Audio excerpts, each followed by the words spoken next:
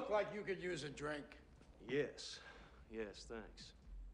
Eddie Barzoon, Eddie Barzoon.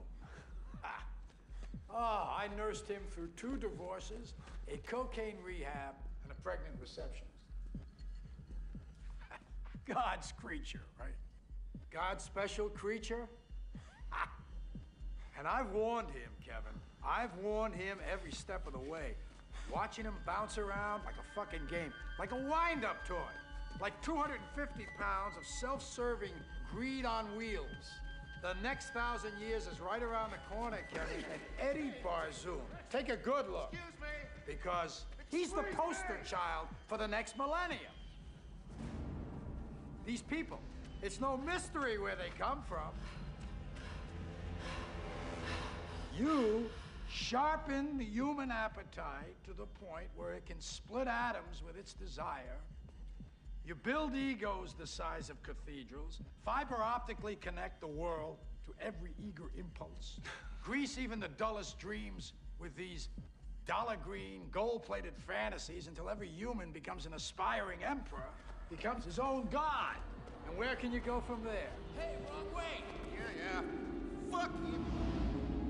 As we're scrambling from one deal to the next, who's got his eye on the planet?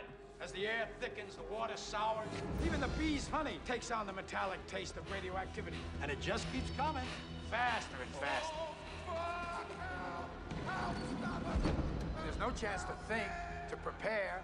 It's buy futures, sell futures, when there is no future. We got a runaway train, boy. We got a billion Eddie Barzoons all jogging into the future. Every one of them getting ready to fist fuck God's ex-planet, lick their fingers clean as they reach out toward their pristine cybernetic keyboards to tote up their fucking billable hours. And then it hits home. You gotta pay your own way, Eddie. It's a little late in the game to buy out now. Give me your watch. What? I like this watch. You think you're just gonna have to try and take it? Ah! Your belly's too full, your dick is sore, your eyes are bloodshot, and you're screaming for someone to help. But guess what? There's no one there. You're all alone, Eddie. You're God's special little creature.